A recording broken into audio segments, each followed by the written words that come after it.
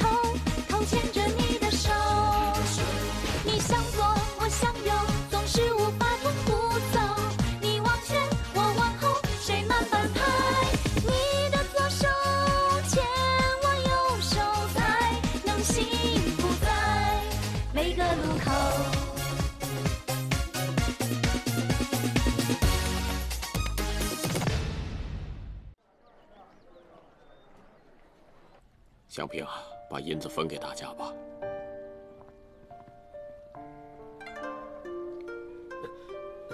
各位，大家都应该很清楚，我们万宝斋大祸将至。我现在把这些银子分给大家，作为遣散费用。大家拿了银子之后，请尽快的离开避祸。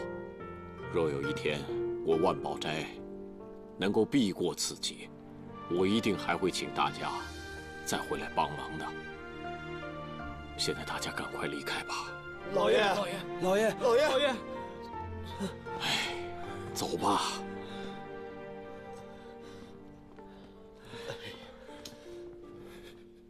洗好了吗？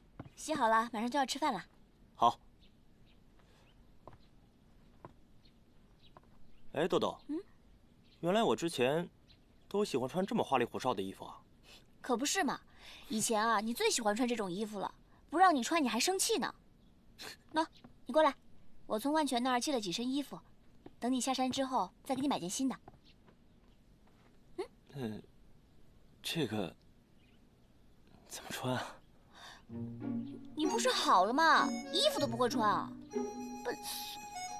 我虽然智力正常了，但是你也知道，从小我们家就有丫鬟，衣来伸手，饭来张口，衣服还真不会穿。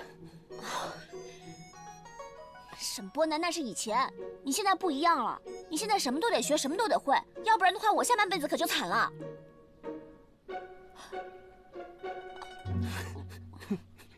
你笑什么笑？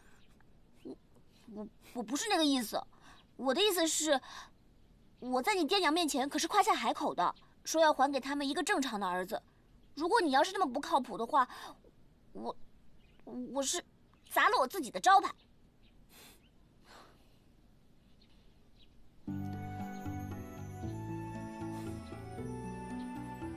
你放心吧，我一定会好好照顾你的。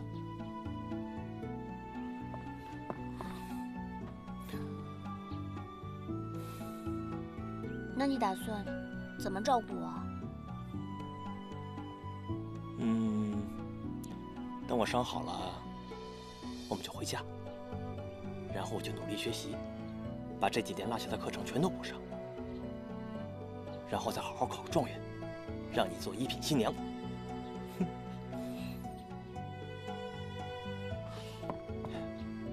考上状元哪有那么容易的？你可别忘了啊，我可是那个七岁就考上秀才的神童沈伯南。那一言为定，不许耍赖。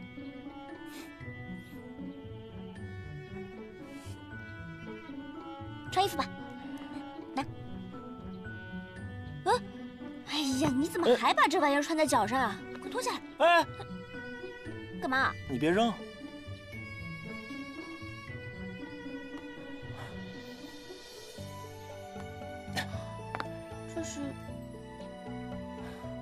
七岁考上秀才那年，爷爷送了我一双镶有宝石的虎头鞋，但是又怕引起歹人的觊觎，就用特殊的手法把宝石的光芒给去掉了。我这些年换了好多双虎头鞋，但两颗宝石一直留着。你说，这个是宝石啊？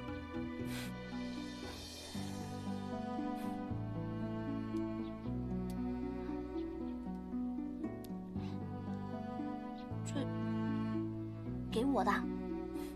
当然，这是沈家的传家宝，当然要给沈家的长媳妇保管了。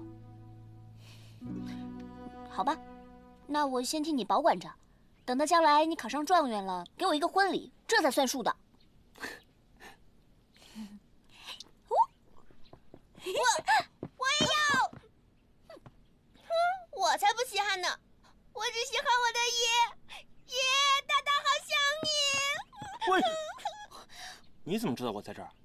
我呀，哦，一定是万全告诉你的。这么说，我爹娘也应该知道了。爷，你是不是真的好了呀？你你现在都可以这样说话了，那你的你的头。哎呀，好了，大大，现在伯南都好了，而且脑袋瓜比我们正常人还要好呢。我告诉你啊，以后不许再叫他傻瓜了。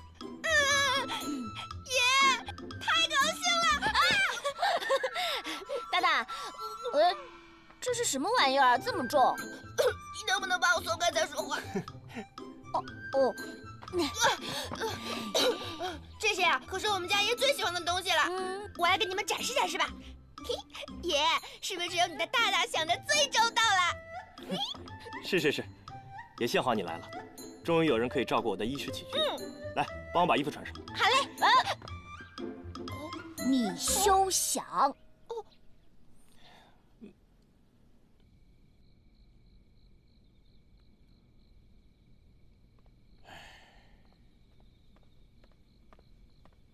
老爷，今天晚饭你一口都没吃，一定很饿吧？我煮了碗汤，你尝尝。哎呀我吃不下呀。哎，这博刚醒了没有啊？我刚才去看过了，还没醒。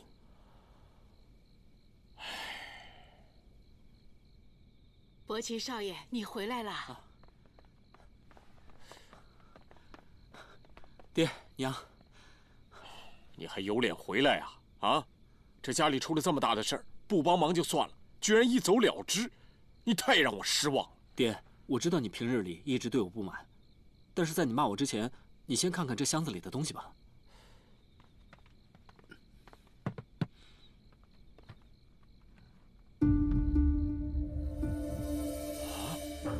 这是怎么回事啊？这是从哪儿弄来的？爹，博刚遗失了玉石之后，我知道如果不能找一块代替他的玉石，我们沈家可能就有灭门之祸，所以我便马不停蹄地寻找任何一个可能拥有玉石的卖家。终于皇天不负有心人，经过多日打探，终于让我找到一块能够打造佛像的玉石了。这块玉石玉质细润光滑，的确是块上好的玉石啊。这对我们沈家来说真是及时雨。爹错怪你了。没关系，只要爹满意就好。老爷，既然玉石找到了，应该早点将玉石送到作坊去雕刻才对。伯奇啊，你就替你爹跑一趟，办妥这件事。好的，娘。哎伯奇啊，我跟你一块儿去。走。嬷嬷，赶快去找些人来。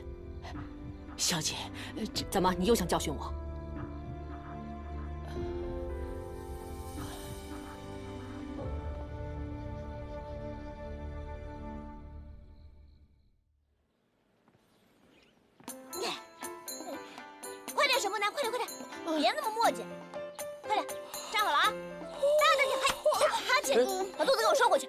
板挺直了。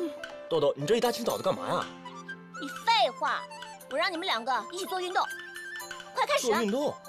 你跟大大学，快点，一、二、三、四。沈伯南，你还偷懒，快点！二、二、三、四，三、二、三、四，四、二。沈伯南，你又偷懒，看着我干嘛？洗呀！我想回家。废话少说，大大，我跟你说，行不行？快点！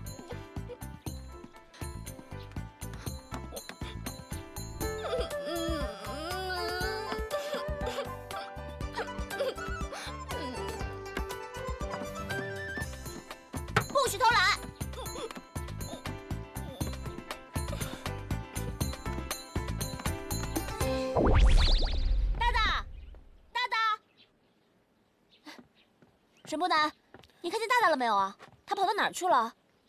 他可能下山找万全去了吧？哎，这匹马是从哪儿来的呀？想骑吗？啊？你你会骑马啊？不知道，我只记得小时候爷爷教我骑过。试试看吧。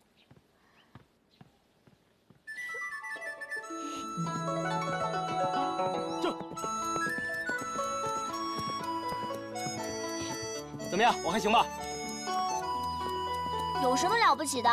不就是以前骑过马吗？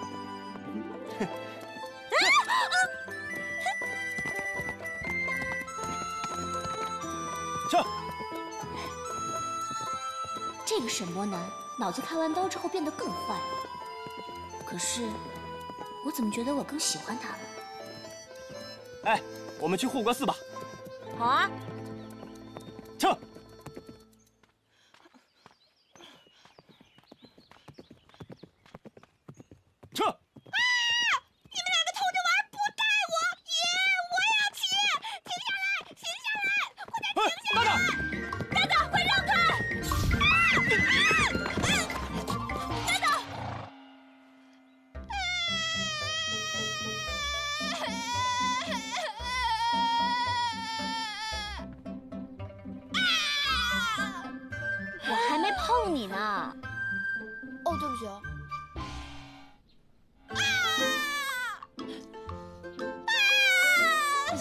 点行不行啊？不知道的人还以为我在杀猪呢。你轻点行不行？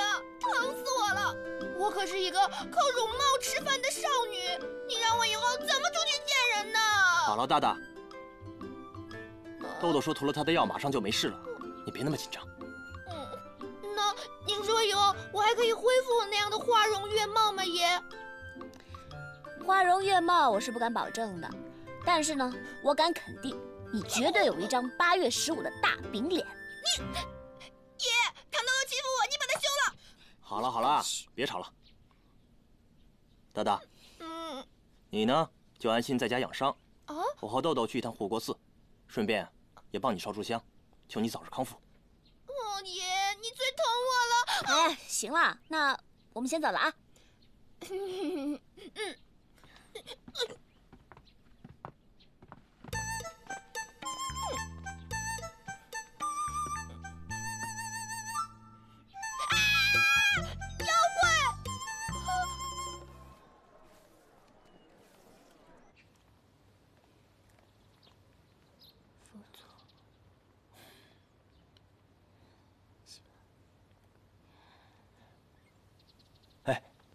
你跟佛祖说什么呢？这么神秘。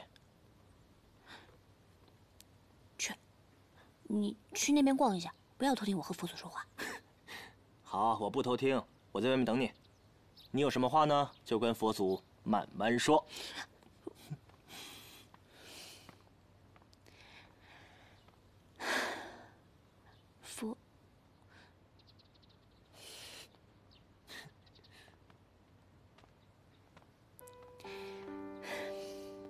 佛祖，谢谢你让伯南的病好起来。虽然他和以前不太一样，但是我更喜欢他现在的样子。我感觉好像比以前更加喜欢他了。所以希望佛祖保佑我们，可以健健康康、快快乐乐的在一起，直到永远，永远。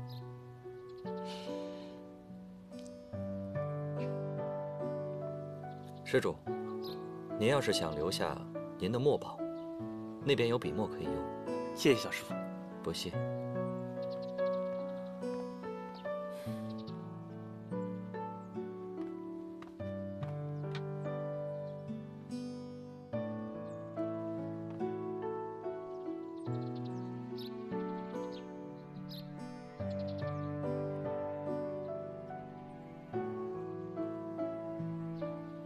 自从父皇驾崩后，朕时常在梦里看到他老人家。他每回都是闷闷不乐的，似乎有什么心事。大师，您看，这是什么原因啊？啊，皇上与先皇父子情深，正所谓日有所想，夜有所梦啊。皇上不必多虑。哦，老衲房里有一本《地藏菩萨本愿经》，皇上可否拿去看看？好，朕一会儿让刘公公去拿。嗯。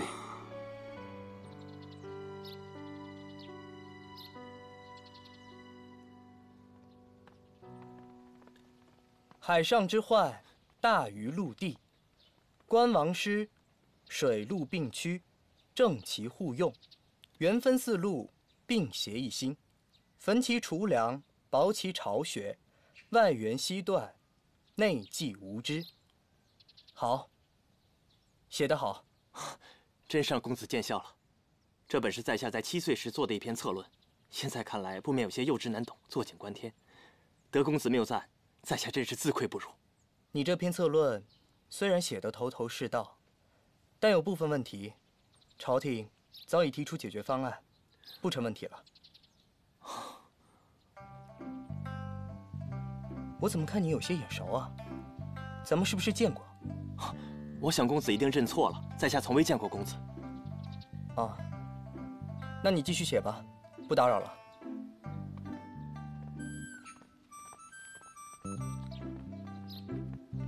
他刚才说什么？啊，他说他从未见过公子，也就是皇上啊。上一句，呃，哦，他说这是他七岁时写的文章。七岁？哎，七岁就能写出这样的文章？是啊，不简单呐。老刘，哎，你去打听打听，看看这位公子是哪年中的举，如今官居何位？朕要重用他。奴才明白。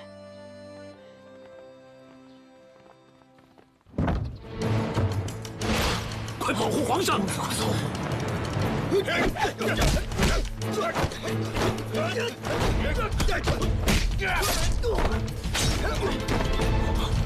公子，公子快走！老刘。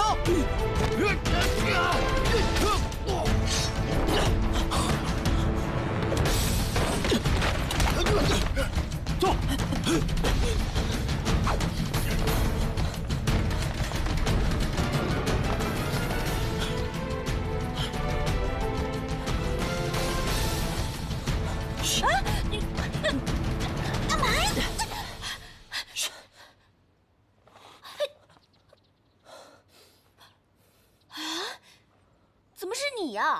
是你呀！哦，我让你害我，我我让你欺负我啊！你敢！你喂啊！喂喂喂！你你你！放！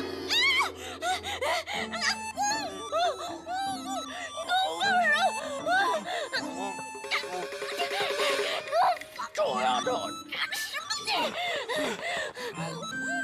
你放手！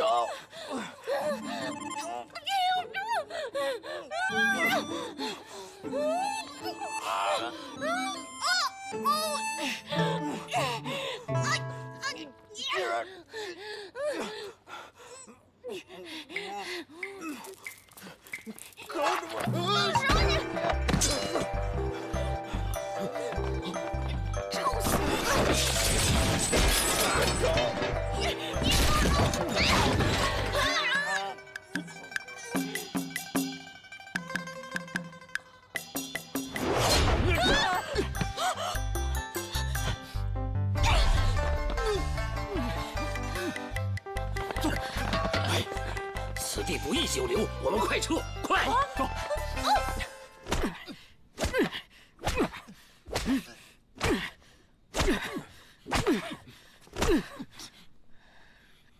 终于查到小皇帝私自出宫，这么好的机会全被你们搞砸了。我再想出手的话，恐怕难上加难。侯爷，您别烦恼，我早就想好更妥当的法子了。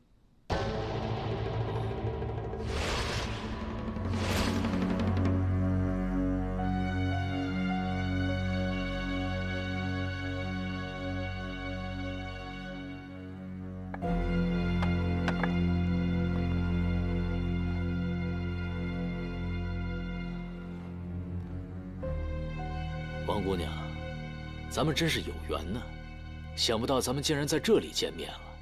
你是谁？抓我干什么？在下苏信义，王姑娘不记得我了吗？你记不记得我无所谓，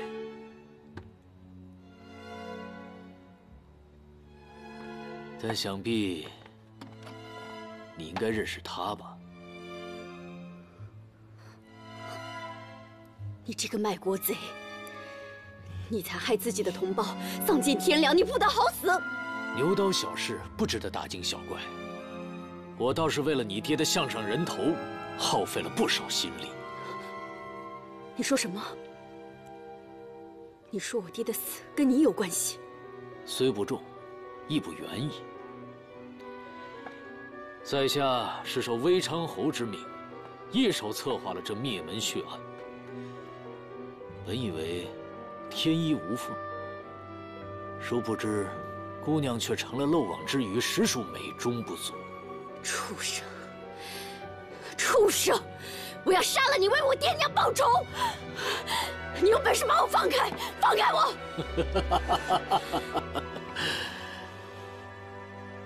王姑娘，你杀了我又能怎样？我不过是受人之托，忠人之事。就算你杀了我，你爹娘能死而复生吗？姓苏的，你别再跟我狡辩了！我不杀你，我誓不为人！王姑娘，这事可真怨不得我。要怪就怪你爹不识时务，竟然暗中收藏微长侯谋反的证据，还意图进京告状。他以为没人知道，殊不知却早有人将此事告诉了微昌侯。你想想看，如果你爹密奏皇上的折子送到了皇帝面前，这个时候，死的人就是我，还有威昌侯，不是你们一家子了。你口口声声说有人告密，那个人到底是谁？我怎么会告诉你呢？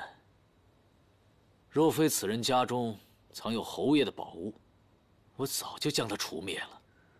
怎么会让这卑鄙的小人嚣张到今日？主子，侯爷请您过去一趟。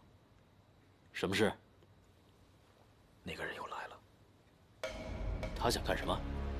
难道他觉得侯爷赏他的还不够多吗？奴才听他的口气，似乎如此。人为财死，鸟为食亡。这姓沈的总有一天会被他的贪欲给害死。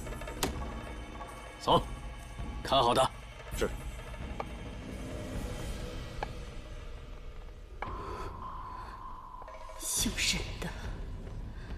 这个姓沈的到底是什么人？他和我爹娘的死又有什么关系？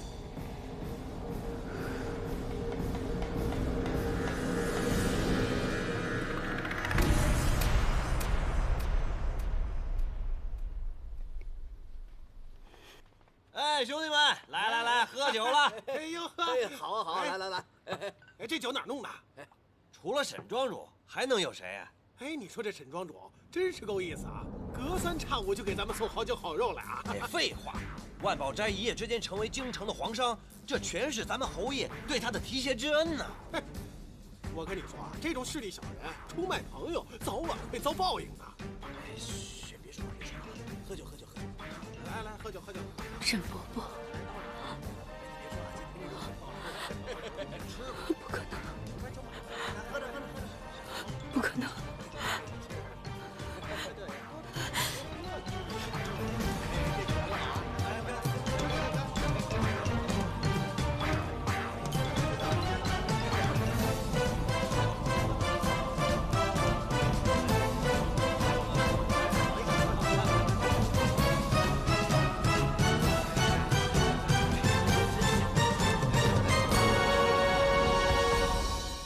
就这样放虎归山，难道不怕后患无穷吗？侯爷，学生之所以这样做，也是欲擒故纵的一种手段。其他的事情，我早就安排妥当了。哦，王子密到了沈家，一定很容易就查到我在沈家留下了一些线索。他为了报杀父之仇，必定会成为我们的一颗有用的棋子。哼你的意思，是想利用他，找到藏在沈家的铁盒子？嗯王沈两家交情深厚，又有儿女婚约，王子密出手相助，大事必成。好，好，这个计策好。看来这笼中的小鸟，终究还是飞不出我的手掌心呐。我现在倒是迫不及待的想看一看他们自相残杀的样子。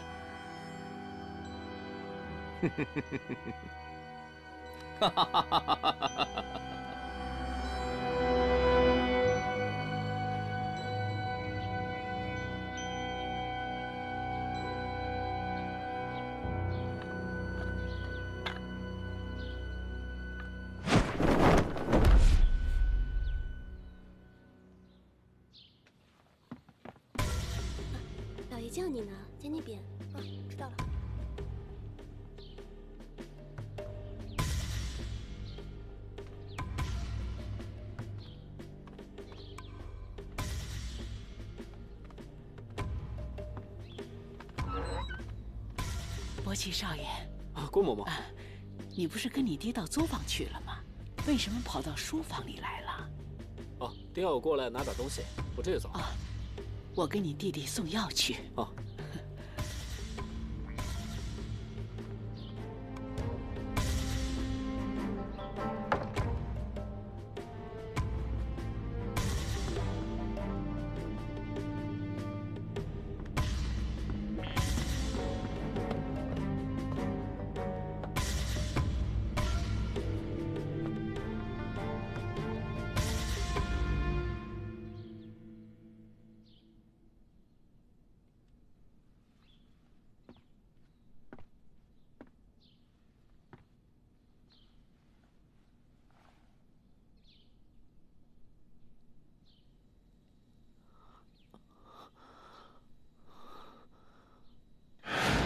一定要平安回来，我等着你。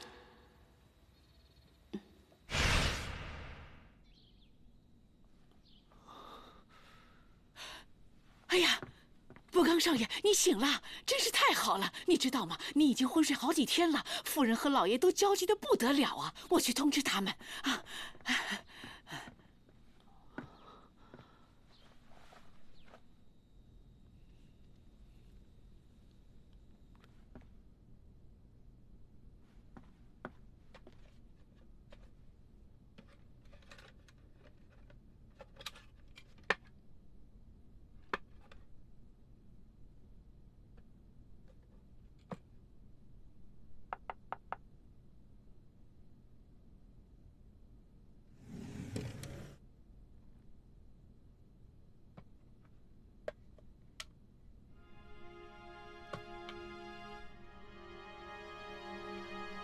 据我所知，侯爷曾经赐给沈祖光一枚刻有“昌”字图案的玉佩。侯爷曾跟沈祖光说，他日当侯爷登基，沈家可凭此玉佩享有种种特权，荣华富贵必是享用不尽。想不到，爹娘是被最信任的人所害。哎，博刚，你醒了，快跟娘说，你还有哪儿不舒服？博刚少爷，你不能乱走，伤口会裂的。娘，我现在有急事要办，我先走了。哎，急什么？有什么事情等你的伤养好再说。郭嬷嬷，快到厨房去煮点白粥给博刚吃，他好几天没吃东西。哎，郭嬷嬷，不用了。娘，我真的没事，我现在有急事要办，回来再跟你说啊。哎，博刚，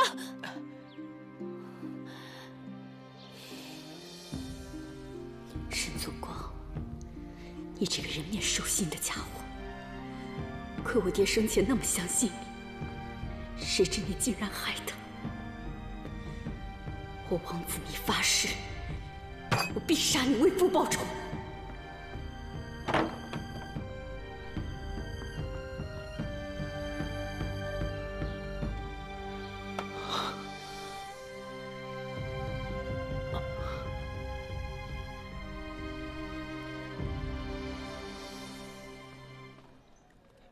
公子，您又来了，快里面请。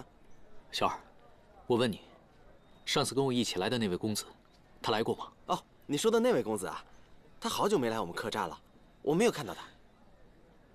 不可能啊！明明说好在这见面的。哎，公子，你的脸色怎么这么苍白啊？你是不是生病了呀？我没事。小二，去给我泡壶茶吧。哎，好，好，好。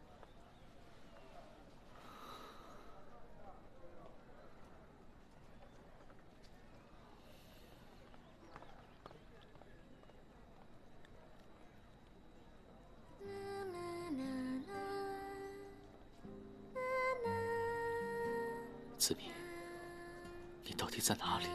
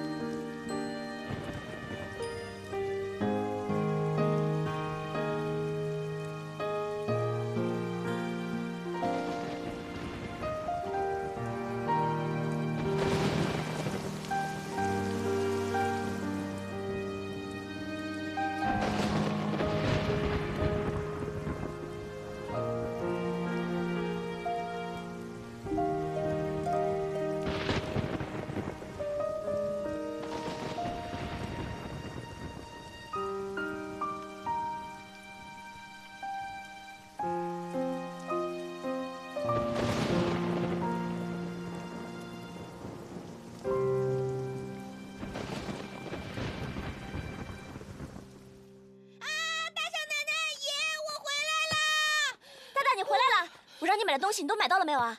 全齐了。哎呀，太好了！这这哦，这是人家的。哦，这不适合你，不适合玩意儿。不适合。我看看什么玩意儿这是。不适合。嗯，大大，你在这荒郊野外的化妆给谁看啊？你呀，我美吗？呸！你放屁！你。快点收拾！又是我！你快点！嗯，我想我爷爷。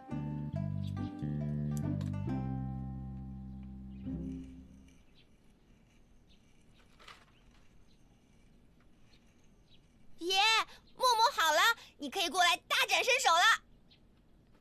嘿嘿。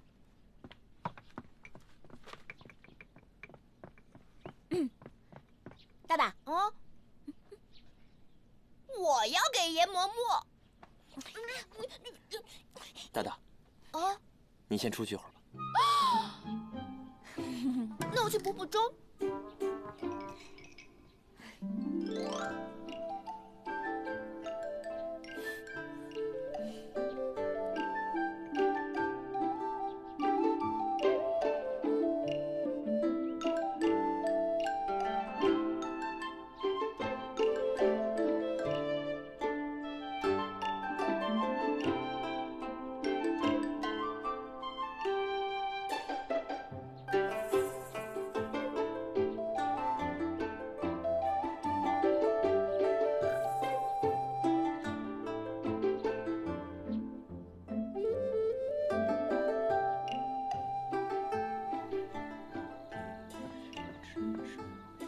这么晚了还在看书啊？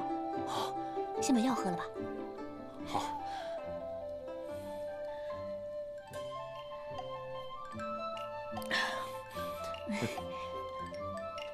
要不然改天再看好不好？千万别累着了。没事，我不累。浪费这么多年，我得加倍努力才行。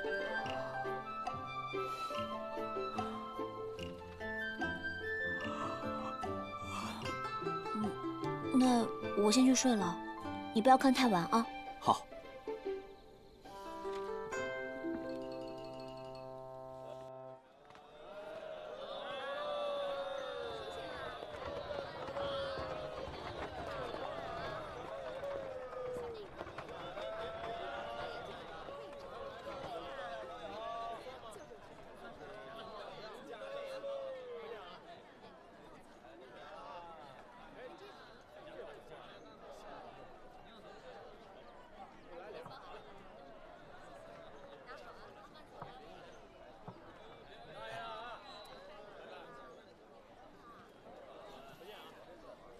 公子，看这些娃娃多可爱呀！买一对回去送您心爱的姑娘，她肯定会喜欢的。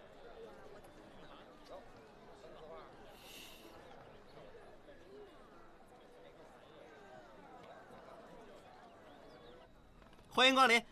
哎，沈公子，小二，我问你，我兄弟来过吗？啊，您说的是王公子吧？他刚回来了。不过，子琪，啊，沈公子，子琪，你怎么才回来呀？哎，沈公子，是不是？沈公子，小二，你不说他人回来了吗？人呢？又走了。又走了？你为什么不告诉他？我一直在等他呢。我跟他说过了，可是他没有搭理我。付完房钱，匆匆忙忙就走了。下去吧。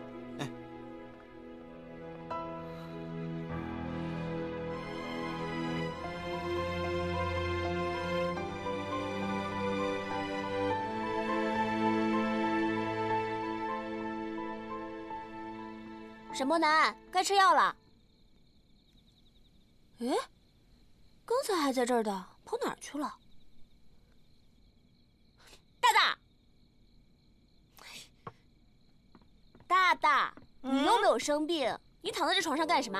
你好烦啊！啊？嗯啊？嗯什么嗯啊？你干什么呢你？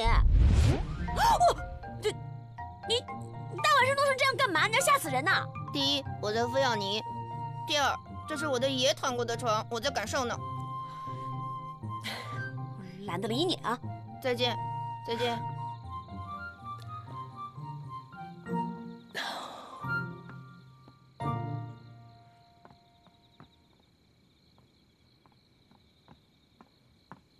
哎，你明明知道这山上风很大很凉，万一着凉怎么办？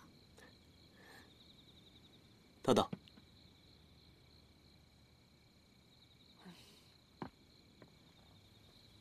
把药喝了吧，一会儿凉了就不好喝了，到时候受罪的可是你自己啊！哎，你看，今晚的天空，好多星星。于神医不是说你已经好了吗？你怎么又像以前一样又傻又笨的，连喝药都要人照顾？快喝了。好，好，好，我喝。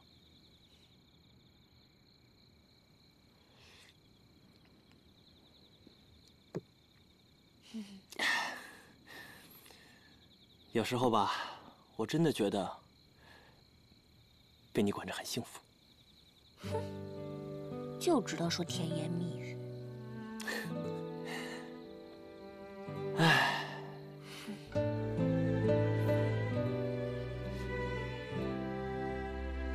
你看到那颗星星没有？嗯，那颗啊？那颗？就那颗最亮的。那是什么？那颗星星叫北斗。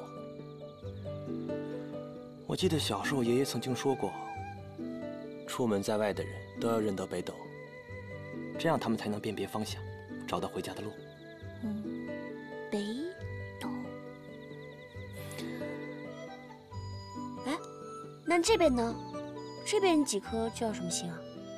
哈，那七颗连在一起像勺子一样的，是北斗七星。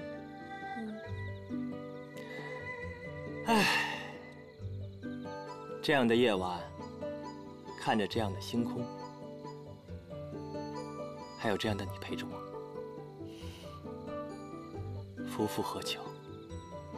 那是，有我唐豆豆如此大美女陪着你，那当然是享福了。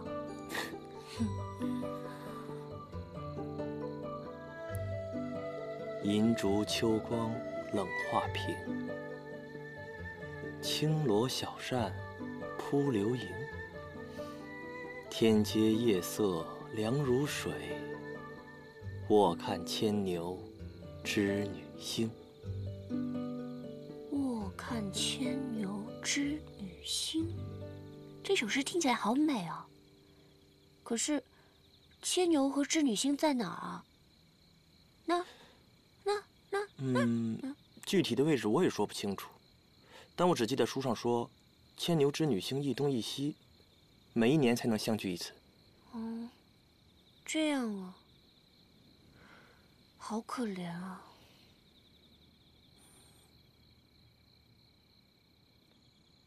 喂，萤火虫哎，嘿你看。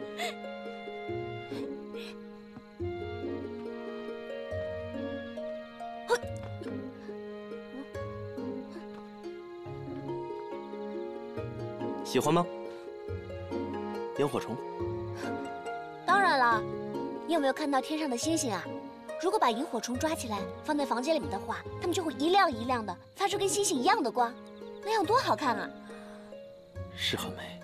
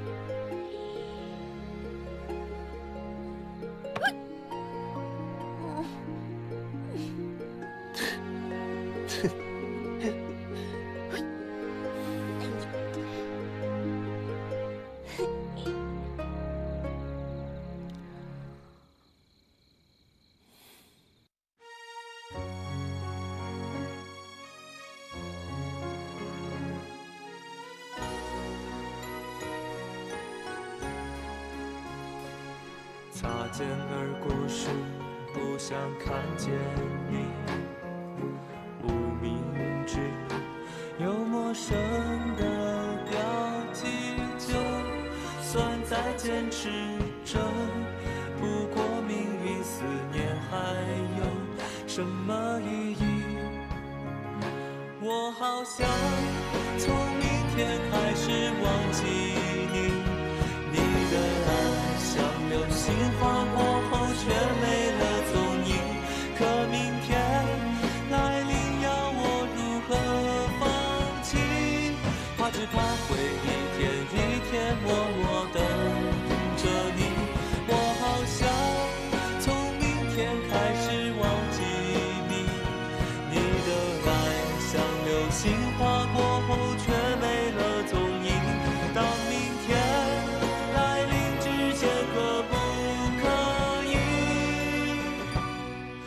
到昨天，不要再相遇？我好想从明天开始忘记你，我的爱像水晶破碎后只剩下泪滴，在天亮以前最后一次想你。明天以后不要再相遇